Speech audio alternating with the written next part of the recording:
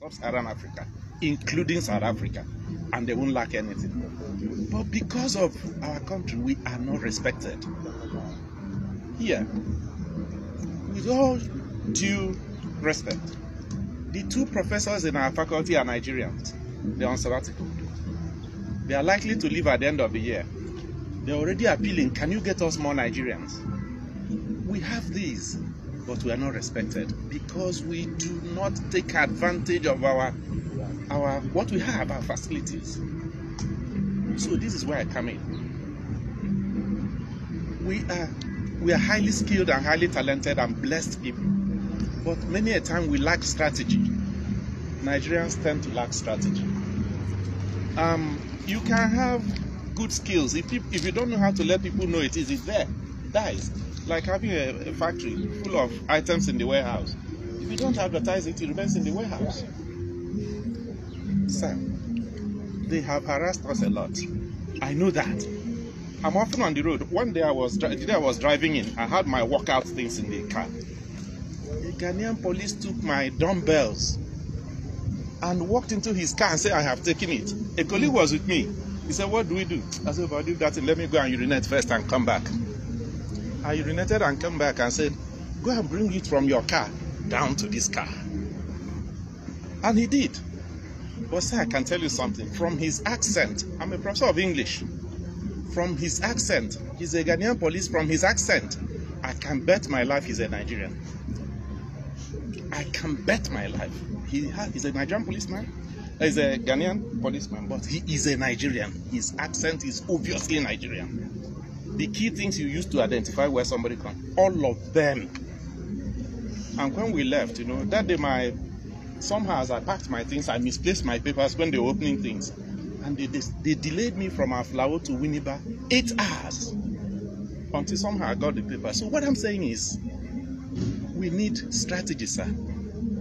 I'll suggest something which the embassy can think about. I know they know which they can do immediately. And the nigerian community there is bad image for nigeria. We can take it back through the press. We can reverse it. We have powerful nigerian media stations channels broadcast all over the world. Um, well ait has a problem now. Uh, uh, nta does. Many others. There's online active online social media the blogs in nigeria. Let them come. Look at what you have said here today let them come here and run documentaries of the experiences of nigerians. And blast it all over the world. In three days ghana will respond. I have been a media person. I have been a media person. You cannot be here and suffering. Let the leaders get our media guys come here. Cover what has been happening. Go to the student community go to the business community go to everywhere. Come to the embassy. Go and confront the officials with the information air it within one week i can tell you part of what's happening. I'm sorry to say it but this is within us. The present government in ghana came on the grounds of nigeria bashing. I have listened to things some of their top leaders have said all over the world in big in major places. We did not take it back sir. If we take it back they will sit up. So media strategy one. Use their own media but you know every see i have been a pressman there is no absolute truth in the media. The truth is the media any truth even history is truth as it is presented. Let us use our own media and get back to them. Let us see live cases. Let our media with this story say we want to go to their prisons to see nigerians. Of course they will turn you back. You broadcast it. Yes. you do by the time you're through run series of documentaries on nigeria's relations. And sir we take history. We look at history um prof sir prof is my teacher. He was the dean of postgraduate school when i was a postgraduate student. So but i want to say to something sir. I want to reinforce what you have said and perhaps like we say in igbo land um, it's not only a dead person you position the neck well. Historically ghana got independence in 57 before us. Not because they were better. We were taking care of home. We were the first african country that should have got independence if you read the biography of nkrumah Nnamdi Azikiwe sent him to the university in the US that he attended after he had returned to Nigeria, uh, to Ghana. Zik had been to that university, came here, met the young man when he was a media man here, mentored him to that university, and he came back. That rivalry has been there because we don't tell them the truth. They don't know. Historically, there is that rivalry, is sibling rivalry. But the truth is that it's a rivalry between an elder brother and a younger brother. It's the rivalry all over Africa. Mandela captured it well in 1997 when the Commonwealth banned Nigeria. When he said that Nigeria is a very big elder brother that you cannot do without. But unfortunately, this elder brother is irresponsible. But you can always go back to him. So, sir, let's take back our image. Let's take them on step by step in very subtle forms, not frontal, not open, a subtle form. The next again is, like Prof said, you can only preach to those you've seen. The people here are legitimate. The problems are the illegitimate ones. If they don't own us, we don't own them. But we know that they are people. It will touch us when something goes wrong. If you have an irresponsible younger brother and he goes causing trouble, any day they will they bring him out to beat him up in the marketplace, it will touch you. He's your brother. You will want to save him. Let when we see those people, we reach out to them. But one thing is missing. Do we have helplines? If I'm in a problem there now, who do I call? How do I know? Can't we have Nigerian helplines at entry points? At the airport, at Aflao, at all the entry points. Nigerian Community Helpline. Winneba uh, Central, call this number. This area, call this number. This area, call this number. Let's know. If we have contacts, it will be easier. Even if the person is irresponsible and he's in a cell and he calls a number, we position these numbers in government places, police stations, immigration points, and also let them know. So we need structured, strategic ways to handle a bad situation. They have, you know, we've all talked here, Nigeria is bad. They have sold us as criminals and we have bought it. That's why we are owning up to it. We are bad, quite all right, just like any other person, any other community.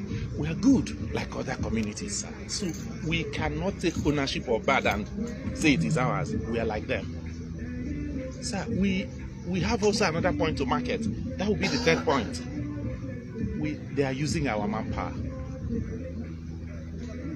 I was first on sabbatical in Legon, 2011-12. So I can tell you that Nigerian community takes care of more than 65% of Legon's budget, the income of the university. Yes. Nigerian students in that university pay a minimum of $10,000, or average of $10,000 per student times the number of students. How much do they generate? all the private universities, everywhere, we have this advantage that we supply to them. What are we getting back in return? Insults.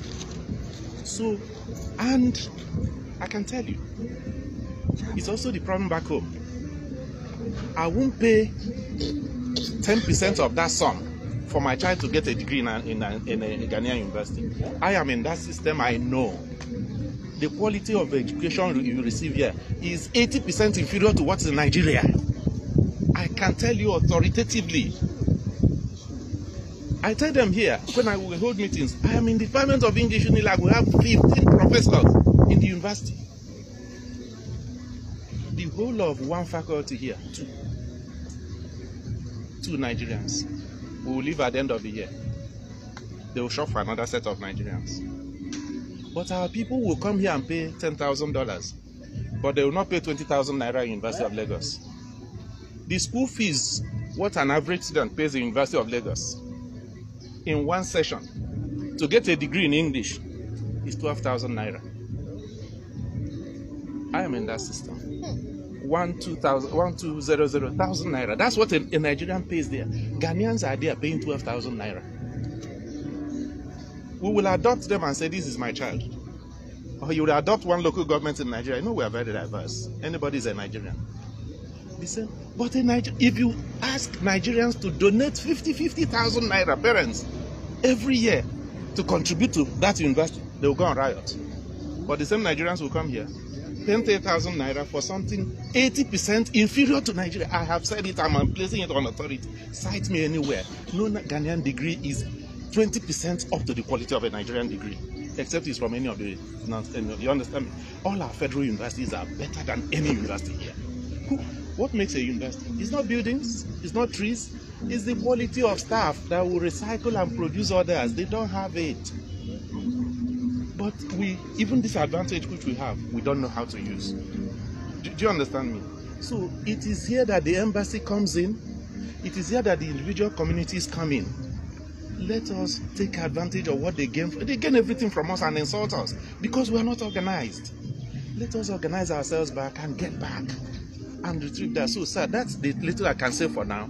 There is a lot we have. Let's not take what we have been given. Thank you. Thank you very much, sir. Please, what is the name, sir? Augustine Nwagbara. Okay.